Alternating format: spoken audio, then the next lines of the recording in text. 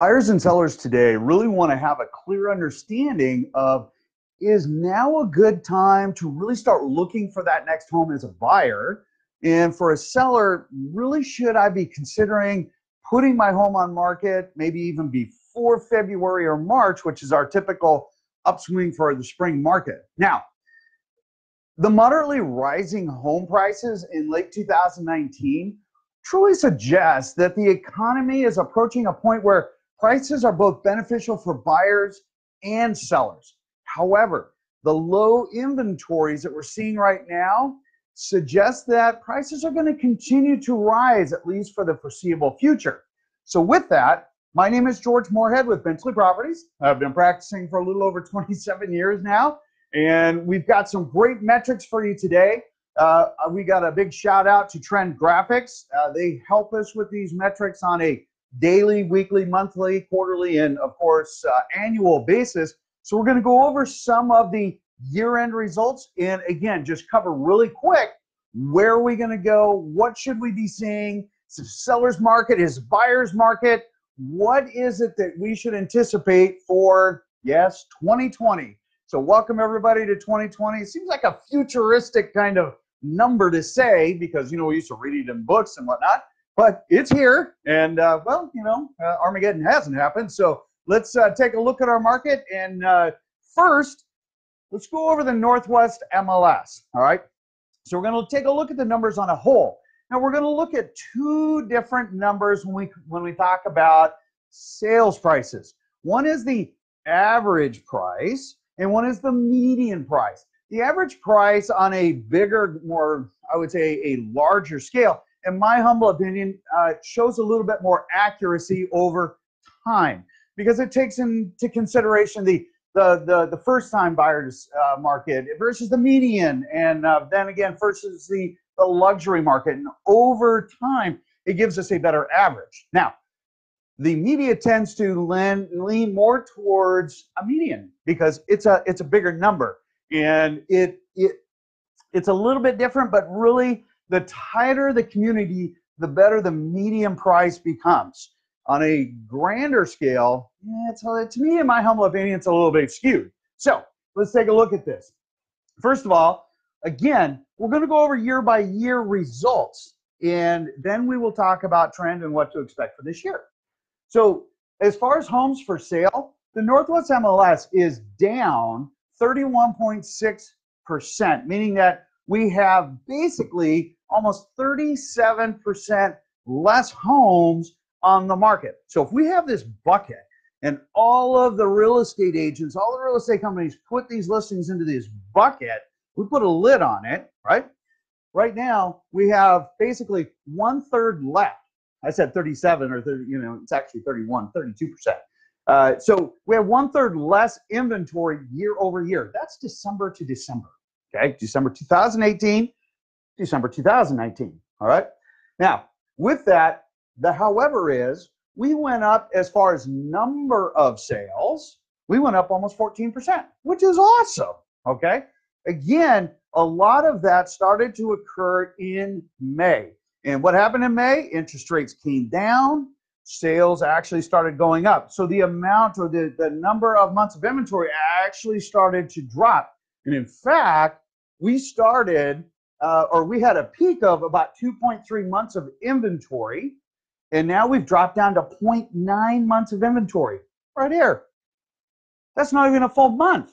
Now, a healthy market is said to be four to six months of inventory. That is a balanced market as far as inventory that is available for buyers and sellers that are that are making their moves. All right. However, we haven't seen four to six months of inventory uh, for going on almost four years now. So is this the new norm? Time will tell, right?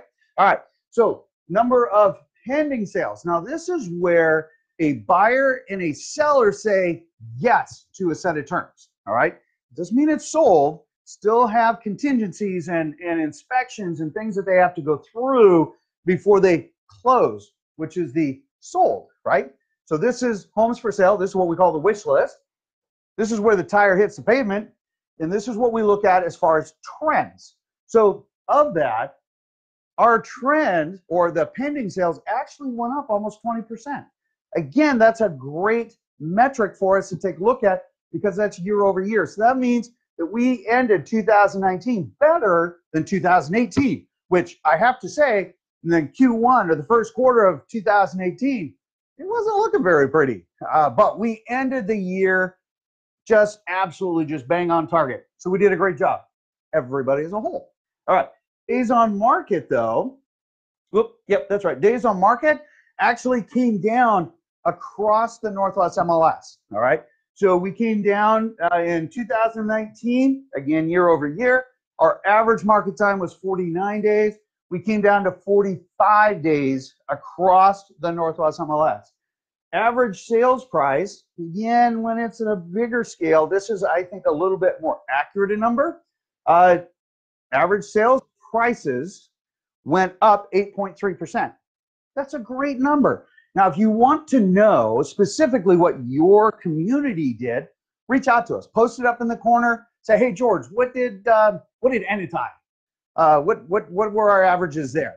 Uh, what did, what are our sales numbers? When when should we be looking at peaking for buyer interest? Or maybe you're down in Covington or over in Federal Way, or maybe even up in Snohomish. Again, let us know. We'll get you that information so you can make a very clear understanding of your community in, you know, in that very tight pocket. That's where the median price will come and be a little bit more valuable for you. Uh, it actually went up 11.7%, all right, as a median price. So sales, uh, sales prices and median prices both went up across the Northwest MLS. Again, Bellingham, all the way down to Tri Cities, uh, parts of eastern Washington, including Chelan, Wenatchee, and whatnot. Okay, so it's a very broad area. Now, to kind of dial it down a little bit, we broke it out into four, what we call kind of four strategic areas. And uh, we'll turn the magic board around. Okay, now don't be scared. Don't be scared about this. All right, so let's go through the same methodology, the same metrics to give you guys better understanding. So we're going to isolate the east side versus the Seattle metro areas versus Snohomish County.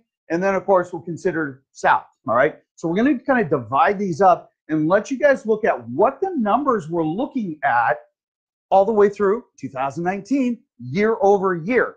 So on the east side, number of homes for sale actually dropped. And in fact, the numbers dropped in all the areas 45%, 30%, 34.5, 46. South County got the biggest number of reduced number of homes for sale. Again, it's that bucket. Everybody putting the information, uh, the listings in the bucket. That's what we're talking about. So that's almost half. They lost half of their inventory year over year. That's a pretty big drop. All right. On the sold, uh, the sold number of sold homes percentage went up in uh, the east side, Seattle, in Snohomish County, and down south. Everybody had more sales than they did last year. Well, 2018. On the pending sales, again, everybody went up. Snohomish or South County actually saw the least number, and this was kind of a I was kind of surprised at this. They only went up 9.8% on the where the buyer and seller say yes, but we haven't quite closed yet. Everybody else uh, basically is in the 30s. And that is consistent with the number of solds that we're seeing here. All right. Now, when we talk about days on market, this one we saw a little bit of a difference. Okay. So we saw uh, an increase in East Side, Seattle, and South County, but Snohomish County actually went down, which I thought was really interesting because the market times, uh, you know, we have our east side, which is at 54 days, uh, and then we have uh, South County at, at uh, 47, with Seattle being the lowest number at 39 days on market on average, right?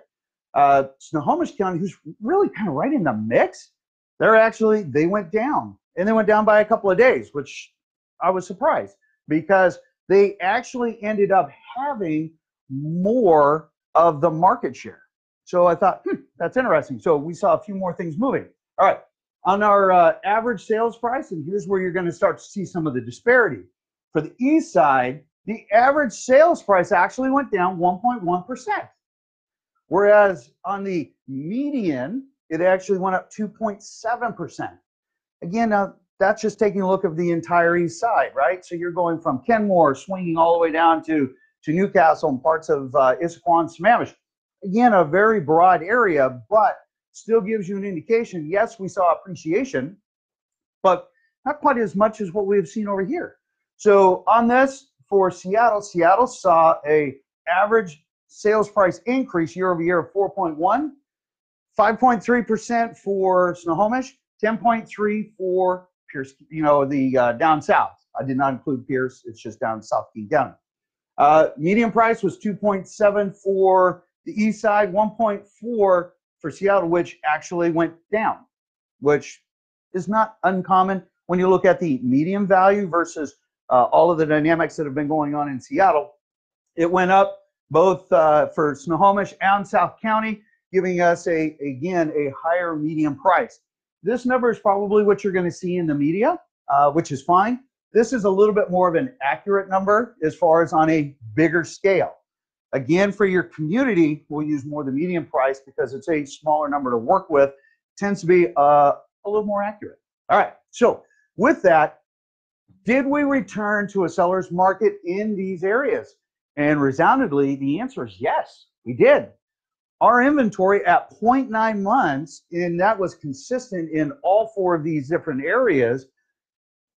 That's not even one month of inventory. That's back when we were taking a look at 2017, where we had some crazy offer moments. Now, when we take a look at the Northwest as a whole, did the Northwest MLS also revert to a seller's market? The answer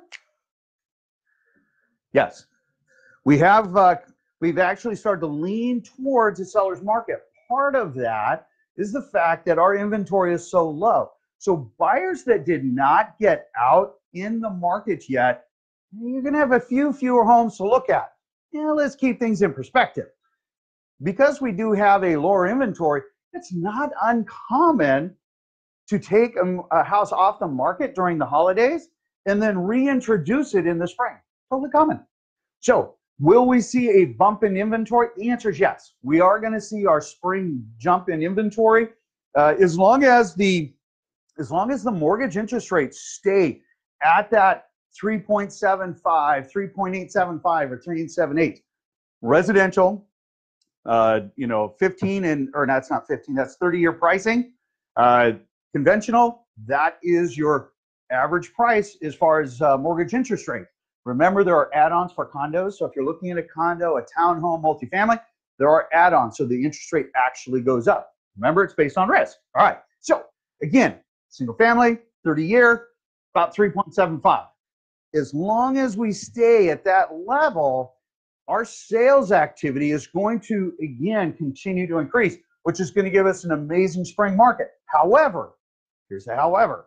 It also is going to depend on the number of sellers that decide to re-engage. Now we have a new excise tax, graduated scale that's going to give people a little bit more punishment. State gets a little bit more, and you need to keep that in mind. That's okay. Just understand that when you're taking a look at your net selling costs, it's not just that 1.78%. It's going to have a graduated level. Uh, there's a prior video if you need that information let us know. We will post that for you. We have a little uh, pictorial for you that uh, we can send you, and it gives you a really good indication in how the math calculates out. All right. Or just ask us, you know, hey, how much is it going to sell my house? Uh, and we'll go ahead and we'll throw that out to you. Simple enough. So, all things considered, we expect our market to really continue to be a, I'm going to say a more flatter market. Uh, we are going to have our spring bump, and then it's going to, I think, just taper off for the Q3 and Q4. However, it is all interdependent on mortgage interest rates. That has been the massive driver as far as good market, as far as seller's market or buyer's market over the last two years. Well, it's actually longer than that, but it is more profound in the last two years. Uh, we'll post a chart that shows, you know, January, and then you see, uh, you know, sales drop and then all of a sudden, when May hits, boom, it just goes up. Why? Rates came down. watch your treasury, watch your bonds. Uh, those are the, the metrics that are going to tell you what interest rates are going to do. It's even easier. Just reach out to like Dan Golden at Cornerstone or Juliana at Qualstar Credit Union or you know Sunal. Uh, and if you need those numbers, we'll paste them up on uh, on the website for you. Uh, if you need a couple of others, we've got some folks at TechFast. We'll go ahead and we'll you just get in touch with them and say, hey, put me on your weekly market update for interest rates, and they'll let you know, and you can watch the trends.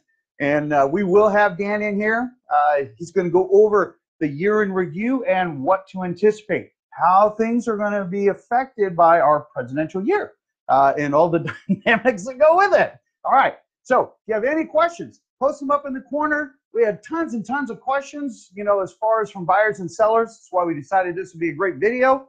If you have any questions or if you want a specific market area, there's no cost. It's free to you. Just request it. We'll just fire it off to you. All right. In the meantime, you guys have an absolutely beautiful day. It's going to be sunny and amazing. And you, I will see you on the next video. And uh, I'll talk to you later.